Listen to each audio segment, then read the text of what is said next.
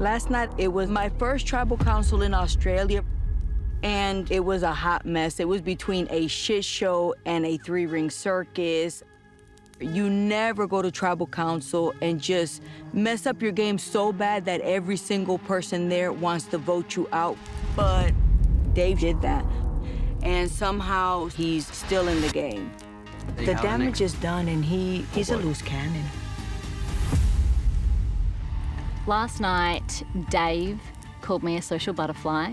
And what was kind of scary about that is Dave actually categorised my game in exactly the way I'm playing it.